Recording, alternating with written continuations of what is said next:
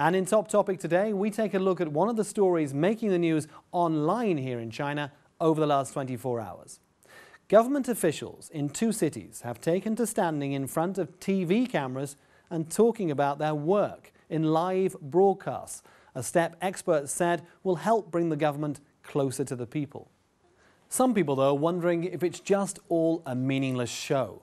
Officials from Wuhan, the capital of central China's Hubei province, were brought under scrutiny recently when questions about food safety and illegal construction were raised on a local TV program. On December the 17th, the TV program showed a plate of meat covered in sauce being offered to a group of guests that included Chen Jun, the deputy mayor of Wuhan, and Yang Zefa, the head of the city's Food and Drug Administration. It then broadcast video revealing that the dish had been prepared in unhygienic conditions and stored in the toilet of a cooked food workshop.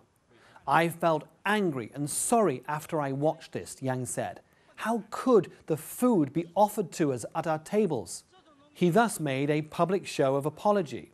Immediately after the show was aired, Chen Jun went to the company of law enforcement officials to investigate the store's conditions. He Zhiqian, a planner of the TV program, said the show attracted higher audience ratings than other programs broadcast at the same time. Even so, he said the show places a greater value on social influence than ratings. Well, let's hope so. I mean, having your lunch live on TV is perhaps not necessarily the future of television, but maybe it does answer some of the problems of hygiene, possibly.